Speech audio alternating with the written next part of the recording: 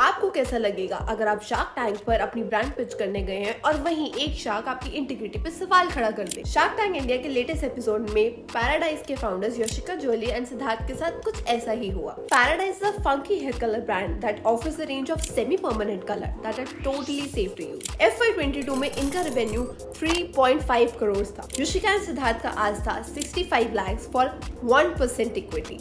All sharks gave an offer, but Anupam and Vinita gave a joint offer. Yashika and Siddharth asked Vinita and Aman to come together instead. इस बात से अनुपम irritate हो गए और उन्होंने founders की integrity और वे ऑफ़ डीलिंग पर क्वेश्चन खड़ा कर दिया as a startup equity save करना प्रायोरिटी होती है if Yushika and Siddharth wanted to pick Aman and Vinita and up their offer again and again. That was because the brand has a profitable numbers to stand by. Anupam का founders को over smart बोलना शायद गलत था. We believe